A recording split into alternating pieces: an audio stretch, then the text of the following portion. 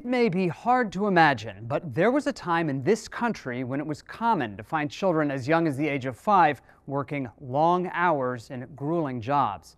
You might think that doesn't happen anymore since the U.S. government restricted underage work nearly a century ago.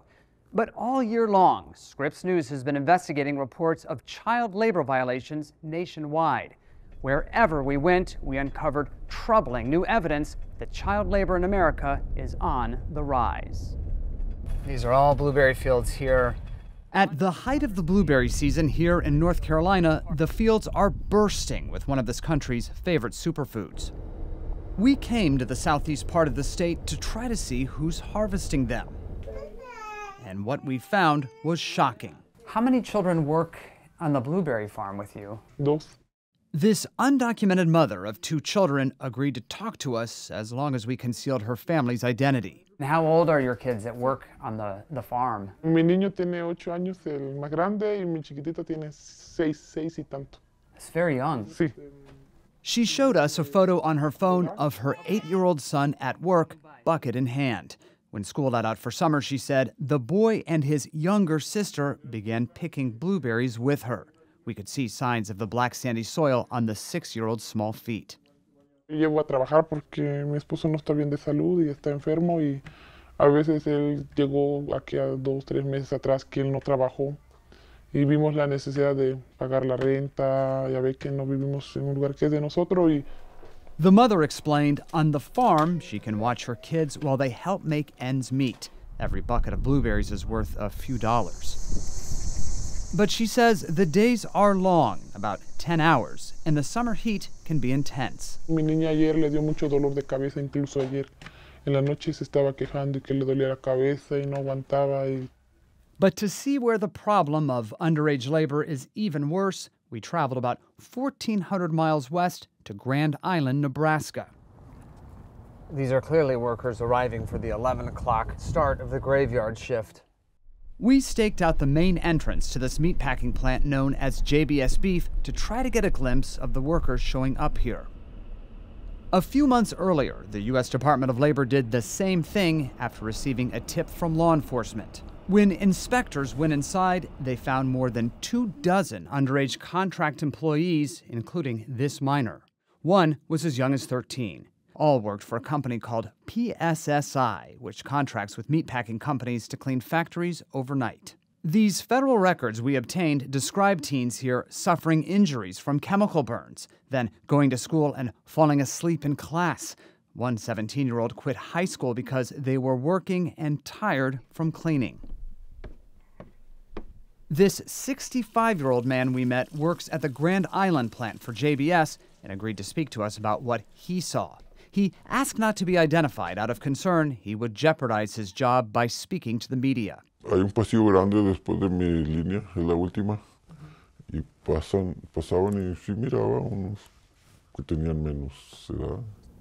We learned overnight crews would clean up blood and animal parts on the kill room floor and sanitize heavy equipment. Is the work dangerous? Yo digo que sí, porque ellos trabajan muchos químicos. Los que lavan trabajan químicos. In all, inspectors found 27 underage workers here in Grand Island and dozens more at 12 other PSSI locations across the nation. Child labor violations like these are up 44% in the past year as employers look to children to help fill jobs that adults increasingly don't want. And it's often an open secret in the communities where it happens. We knew James Callahan has been the priest at St. Mary's Catholic Church in Worthington, Minnesota for more than 12 years. Just a few miles away, federal investigators found 22 underage kids working graveyard shifts at this meatpacking plant. How long, Father, did you know that there were young people working those jobs in the plant? oh, since I've been here. I mean, this isn't something new. 12 years. Yeah, I mean, and even before. Did you ever think of calling the police or the Department of Labor or someone over the years to, to stop this? No, because my first concern was for the individuals. It wasn't to make a policy change. It's up to Congress to make those policy changes, but it falls to the U.S. Department of Labor to carry them out. people like Michael Lazzeri. He's a regional administrator for the Wage and Hour Division at the Labor Department. He led the investigation into PSSI that ended with the company paying $1.5 million in civil penalties. Why did it take the Department of Labor so long to detect child labor at PSSI and to act? For an agency like ours, where we have 10 million employers, uh, we can't be everywhere. He told us the government has to rely on employers to follow the law and employees to blow the whistle when they see child labor. How do these kids walk by a guard station in a facility so young? Walking into plants every day. How come no one picked up the phone? I have questions about that. Uh, that to me is concerning. Does this case show that the Department of Labor needs to be doing more? We are doing everything we can to amp up our efforts uh, to be able to root out child labor where we know it could be. As those enforcement efforts continue, authorities are finding how widespread underage labor has become in this country. What's your favorite sport? In North Carolina, the eight year old boy we met still makes time to just be a kid.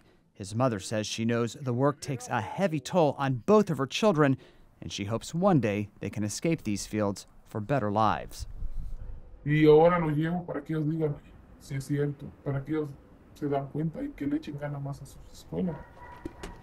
Yo siempre digo a mis hijos, no van a pasar como nosotros. Lessons that come from a life of hard work beginning at a tender age.